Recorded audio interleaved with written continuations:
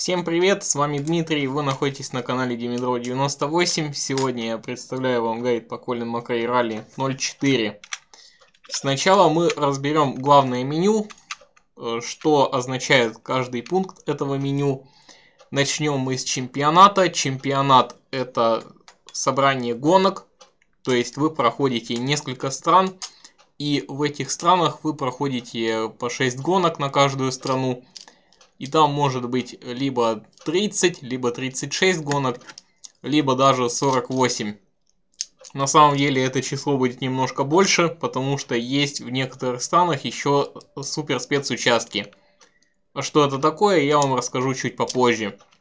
Ралли это конкретное ралли, то есть конкретная страна, либо 6 конкретных этапов, которые вы проходите друг за другом.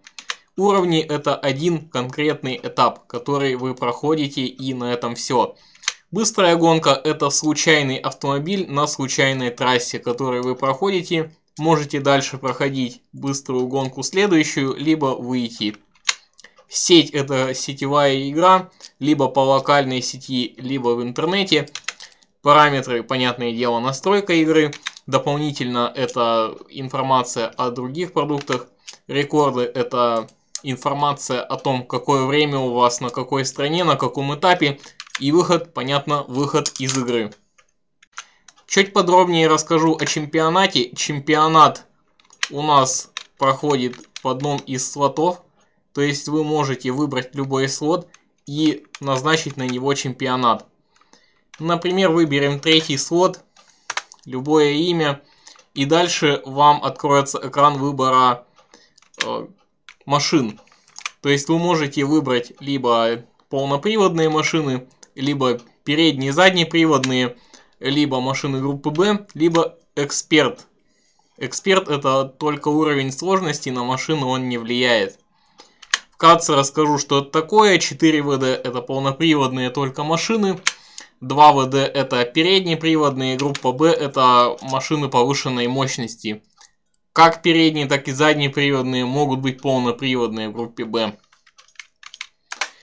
4 ВД вы можете выбрать сложность нормальную или высокую. В 2 ВД также. В группе B у вас будет только высокая сложность. В экспертном уровне экспертная уровень сложности. Эксперт это вообще отдельная тема. Здесь другие правила немножко. Она немножко сложнее, чем все остальные режимы. На примере 4 ВД рассмотрим, как в принципе проходит чемпионат. 4 ВД включает в себя все 8 этапов, поэтому в принципе можно показать, как проходит чемпионат на примере. Вы можете выбрать либо один, либо два игрока. Два игрока можно либо пустить параллельно, либо друг за другом. Сложность либо нормальный, либо высокий, как я уже сказал. Если вы выберете нормальный уровень сложности, у вас будут повреждения нормальные. Если вы выберете сложную сложность, тогда у вас аварии будут гораздо тяжелее.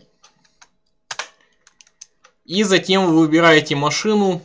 На самом начале у вас будет только 4 машины. После того, как вы выполните требования, у вас откроется еще и последняя Peugeot 206 Rally Car. У меня открыто потому что я уже выполнил требования на эту машину. Допустим, мы возьмем Citroёn XR. Вы, кстати, можете видеть характеристики слева от э, самой машины. Какой двигатель, какая трансмиссия, какой вес машины. Итак, Citroёn XR. Дальше вы можете выбирать трансмиссию, на которой вы будете ездить. Либо автомат, либо полуавтомат, либо ручная коробка передач автомат полуавтомат дает возможность компьютеру переключать за вас передачи. Ручная это только вы переключаете передачу. Э, рекомендую новичкам использовать автоматическую и полуавтоматическую, чтобы вы научились поворачивать в этой игре хотя бы и проходить повороты нормально. Ну и, соответственно, если вы более опытный игрок, то это уже, конечно, ручная коробка передач для большего контроля над машиной Дальше вы вводите имя игрока, выбираете страну. И уже начинается сам чемпионат. Чемпионат начинается всегда с вот такого ролика, где вкратце описывается, что это такое. И дальше у нас идет краткий ролик про страну. После каждой страны, после того, как вы пройдете одну страну, у вас будет тест и затем следующая страна. Перед каждой страной у вас будет вот такой ролик. Здесь у нас настройка машины. Настройка машины идет э, перед первым этапом, дальше перед третьим, перед пятым и перед супер спецучастком, если он есть в стране. Обычно идет по два этапа за один день. То есть вы проходите первый, второй этап, потом идет настройка, потом третий, четвертый, снова настройка, пятый, шестой, снова настройка и супер спецучасток. Может быть и такое, что вы пройдете первый, второй, будет настройка, третий, четвертый будет настройка, и затем только пятый. Такое в 2 ВД есть. В 2 ВД всегда до 5 этапов. И если есть супер спецучасток, то супер спецучасток будет шестым этапом. И после пятого это будет настройка перед спецучастком. Вы можете посмотреть здесь в меню настройки машины какие у вас настройки, какие этапы вас ждут, какое покрытие вас ждет. Обязательно нужно смотреть на покрытие, потому что смотря на покрытие вы будете выбирать шины, от шин будет зависеть сцепление с трассой. От сцепления с трассой будет зависеть то, как вы пройдете поворот. И настройки машины немножко следует тоже пройтись. Шины от них зависит то, как вы будете проходить поворот. Клиренс – это то, какая посадка будет у машины. На гравийных этапах высокий клиренс, на асфальтовых этапах следует ставить низкий клиренс. Пружины, соответственно, наоборот. На гравийных этапах ставят мягкие, а на асфальтовых этапах ставят тяжелые, ну то есть э, жесткие пружины. Антизанос как здесь написано, уравновешивает автомобиль на неровных поверхностях и снижает вероятность опрокидывания. Если вы чувствуете, что у вас есть опасность того, что машина перевернется, вы можете немножко увеличить эту настройку, чтобы машина не переворачивалась. Например, вы можете на Финляндии ее повысить, потому что есть шанс, что машина перевернется на кюветах. Либо там допустим, в Австралии может быть такая опасность, либо на других каких-то трассах, где очевидно есть такая опасность, там вы можете их повышать. Тормоза передние и задние. Если вы э, на задние тормоза мощность переключите, тогда у вас будет избыточная поворачиваемость. Если на передние, то, соответственно, недостаточная поворачиваемость. Управление легкое и тяжелое. Я предпочитаю легкое управление, то есть э, большая реакция руля, лучшая реакция руля. Но если машина слишком легко срывается в занос, вы можете в принципе вернуть на среднюю позицию. Либо если этап снежный, ледяной, то во избежание блокировки колес вы можете поставить даже на тяжелую. То есть вот так самое правое положение. И коробка передач, длинные короткие передачи. Короткие передачи это большее ускорение, меньшая скорость. И длинные передачи это меньшее ускорение, большая скорость. Смотрите по этапу, по поворотам, по прямым. То есть насколько вам нужно ускорение, насколько вам нужна максимальная скорость. Смотрите и ставите. Я лично оставляю на середине. И так у меня вполне хорошо получается.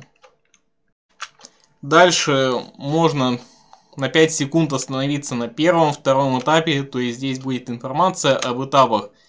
Сейчас первый, второй, но может быть третий, четвертый, пятый, шестой.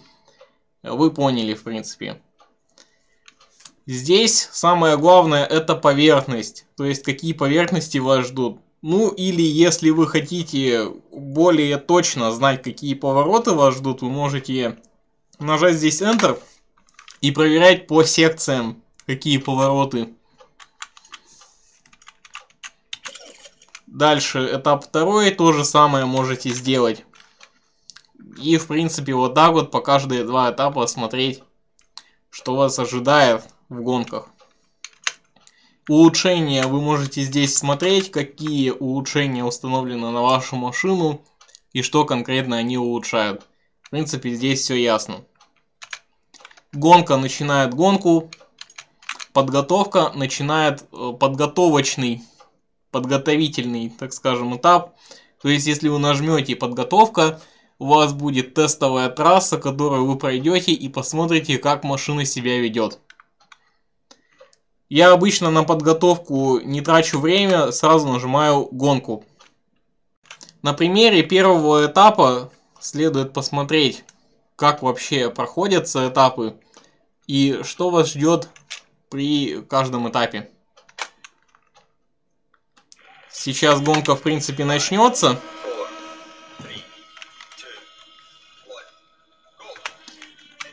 Всегда по 5 считается, а потом уже дальше идет гонка.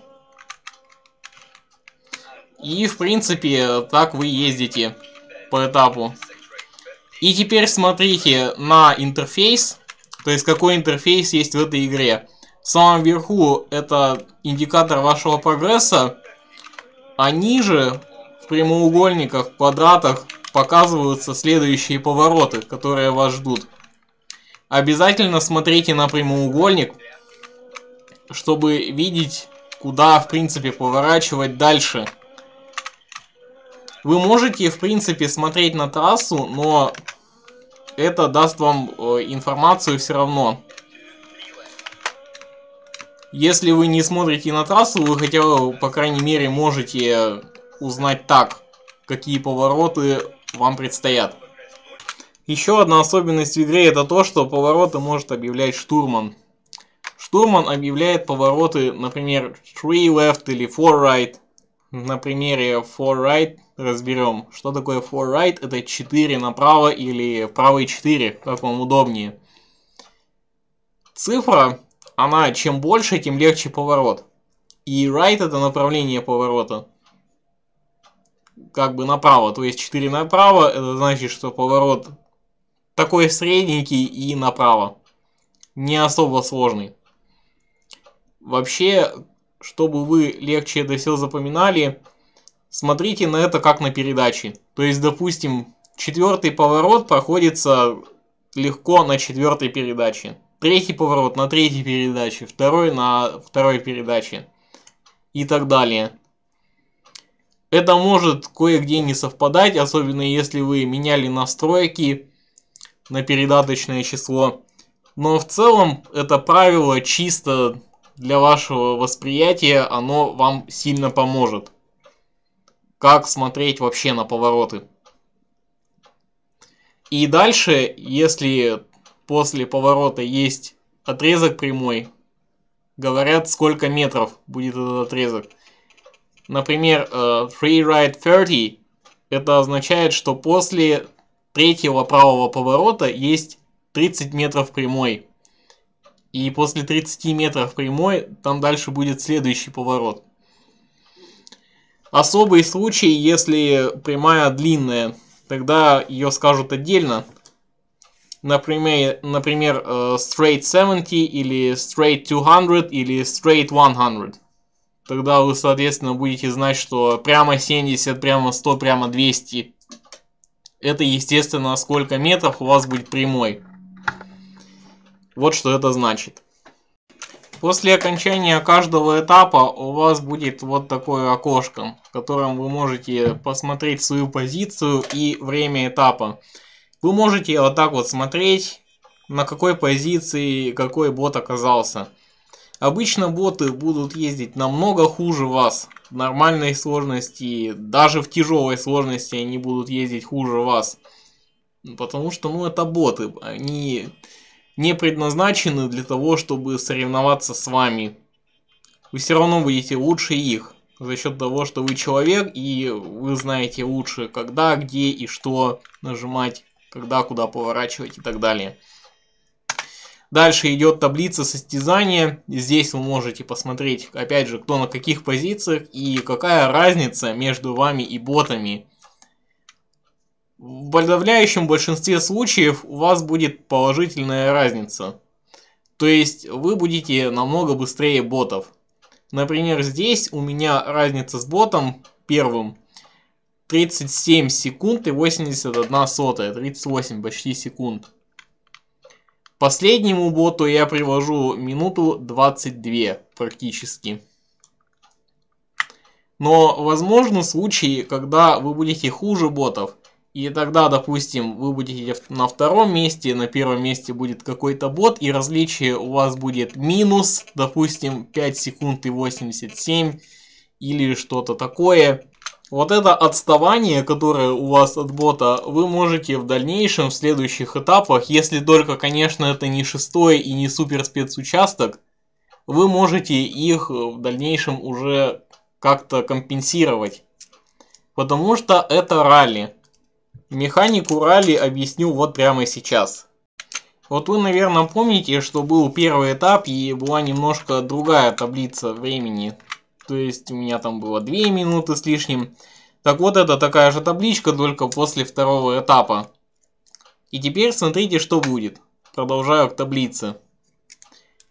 Вот вы скажете, что это за время? 5.59, 7.18, 7.22, 7.27 и так далее. Это же не время одного этапа, правильно? Правильно. Это суммарное время за два этапа. То есть у вас После того, как вы закончите этап, будет вот такая таблица с суммарным временем. И у вас будет показано полное время всех этапов. Допустим, сейчас у меня 5 минут 59 секунд 39 сотых. Это за два этапа. И от второго бота я оторвался на минуту 19 и 54 сотых. А дальше соответственно, больше. И последнему боту я привожу практически 3 минуты. Это ко второму этапу. И вот эта вот разница во времени между, допустим, вами и вторым ботом. Или каким-то ботом и вами, если вы второй. Она будет либо уменьшаться, либо увеличиваться. Вы можете либо догонять бота, вы можете отрываться от него. Здесь это все будет отражено.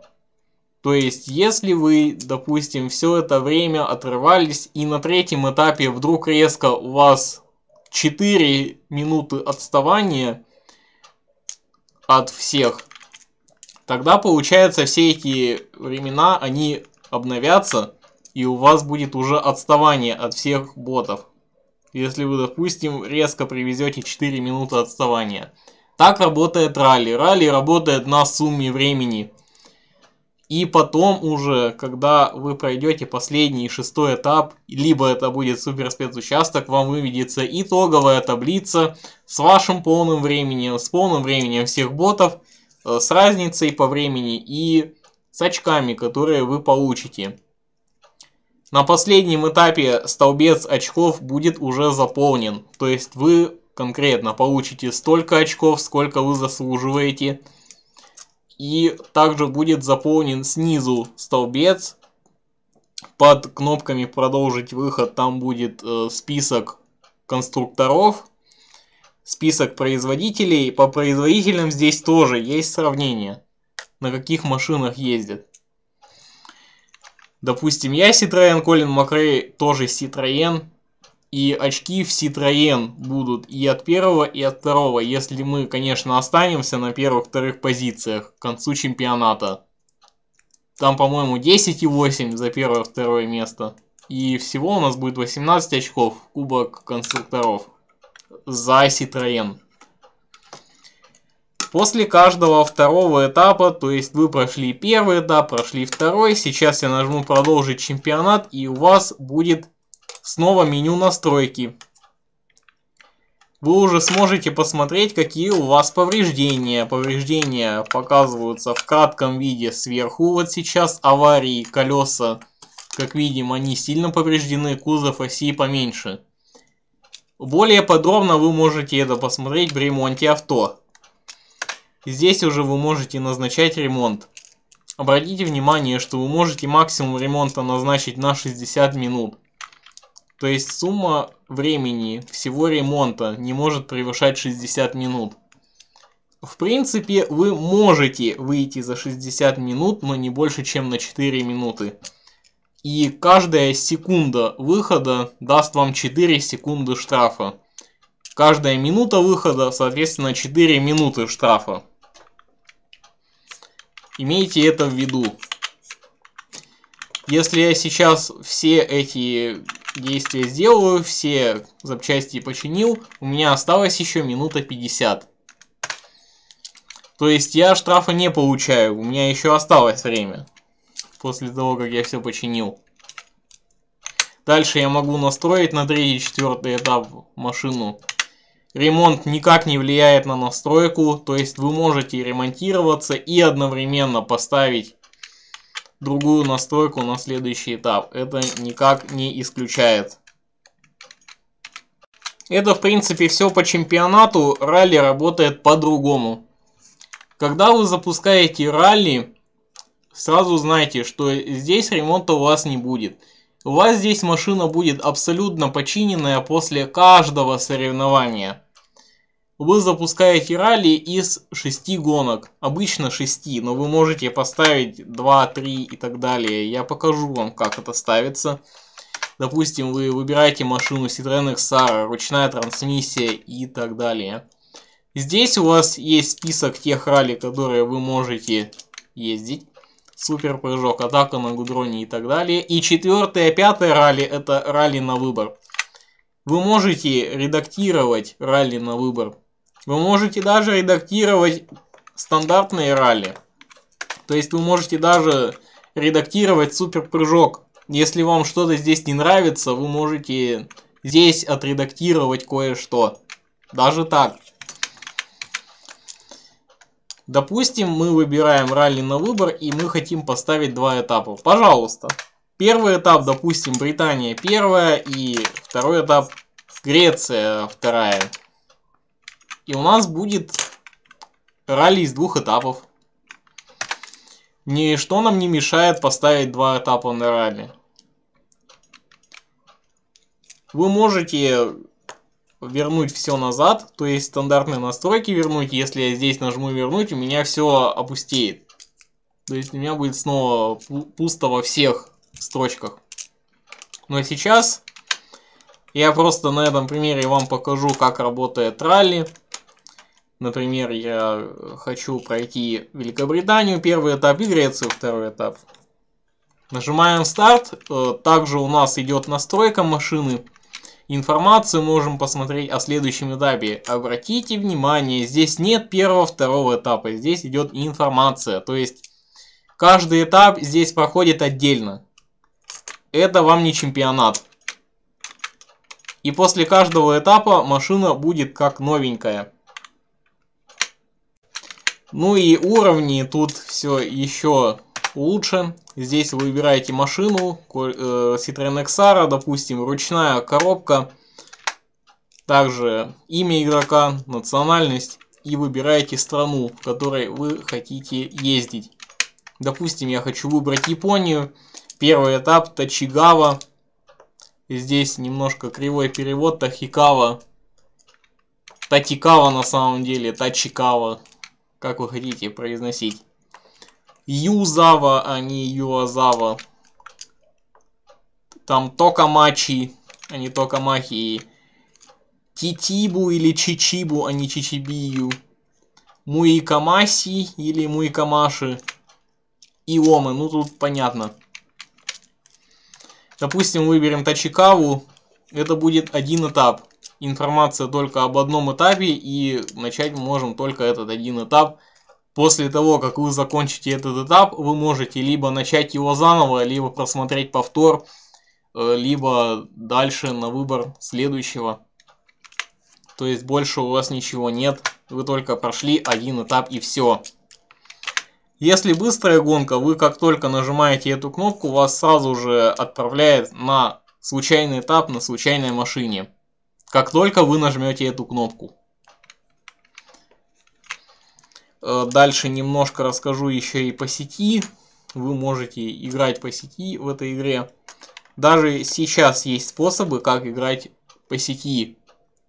Естественно, GameSpy уже не работает. GameSpy не работает уже давно. По крайней мере, с 2016, по-моему, года он не работает. Но есть один способ, как вернуть в жизни интернет, именно секцию интернета. Это делается через hosts. Там прописываются определенные сервера, определенные айпишники, чтобы, так скажем, перевести э, с серверов GameSpy на OpenSpy. Сейчас э, все сервера идут на OpenSpy. Э, есть еще один сервис, который создан умельцами народными и который позволяет играть в Colin McRae Rally 0.4 по сети. Сейчас я зайду в интернет и вы в принципе увидите, что я имею в виду. Эти два выделенных сервера, которые созданы людьми, и они поддерживаются на плаву. Правда, в них пока никто не зашел. Видим, игроки 0.6. То есть никого там нет на этих серверах. Там только один бот стоит. Допустим, мы сейчас зайдем в первый из них. И мы видим, что у нас есть CMR бот. Если вы, допустим, захотели поиграть один, вы можете это сделать. Нажимаете готов в гонке, бот автоматически тоже ставит готов, и вы отправляетесь с ботом уже в гонку. Бот будет стоять на месте, вы просто будете ездить один. Ну а если с кем-то другим вы хотите покататься, другой просто также заходит на этот сервер, и вы вместе уже катаетесь. Дальше. По локалке у нас суть та же самая. Вы скачиваете программу для локальной сети. Там заходите в комнату, в которой вы будете играть. И через эту комнату уже все будет организовано здесь. Здесь вы заходите в локалку, можете сами создать игру, можете дать кому-то другому создать игру. И уже либо на созданной игре начать ее, либо зайти в ту игру, которую создали. Здесь будет кнопка «Войти», она будет активной. Сейчас она не активна, потому что никого нет. Это я на примере вам показываю. Есть вариант фиксированный сервер. Это вы присоединяетесь конкретному серверу на конкретном IP-шнике. Но это нужно знать, соответственно, IP-шник и порт. И туда потом присоединяйтесь. Настройка игры здесь все интуитивно понятно. То есть вы заходите в настройку и вы потом выбираете управление, графику, настройку звука, языка, чит-коды даже здесь есть. Конечно же авторы. И в принципе все. Здесь больше настроек никаких нет. Дополнительно это получается видеоролики, которые вы можете посмотреть. Допустим, я сейчас посмотрел Финляндию. Сейчас посмотрим, вот какой ролик у Финляндии. 2ВД. У 2ВД вот такой ролик. Конец игры. Вот такой ролик на конце игры идет. И также вы можете смотреть если вы проходите все этапы, соответственно, все ролики у вас открываются. Вы проходите все категории, все категории у вас открываются. И рекорды, вы здесь можете посмотреть рекорды либо на уровнях, либо в чемпионате. Э, вот здесь на уровне, какие у нас рекорды есть. Либо в чемпионате. Соответственно, тоже по очкам можно посмотреть. По очкам и по местам. В чемпионате также можно отслеживать, какое у вас было место, в каком чемпионате и сколько, в принципе, пройдено из них. Вот как раз то сообщение, которое вы получаете в главном меню, вы выиграли столько-то чемпионатов из шести, это как раз здесь можно отслеживать. Например, у меня сейчас написано, вы выиграли 5 из 6 чемпионатов. Я захожу сюда и вижу, что действительно выиграл я 5 из 6 чемпионатов. Я не выиграл только чемпионат 2ВД на нормальной сложности. И все. Это пройду, и у меня будет открыто все. И у меня станет выиграли 6 из 6 чемпионатов. Вот так. Это был максимально общий гайд на Colin McRae Rally 04. Более специальные гайды я выпущу в дальнейшем. Я выпущу в дальнейшем гайды по поводу того, как проходить чемпионаты, какие трассы бывают, какие страны бывают, какие машины вообще бывают и как они между собой различаются. Но это в будущем. Сейчас на этом я заканчиваю. Спасибо всем за просмотр.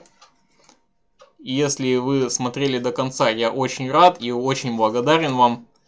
Конечно же, подписывайтесь на канал, ставьте лайки, рассказывайте об этом видео всем, кому только можно. И всем пока.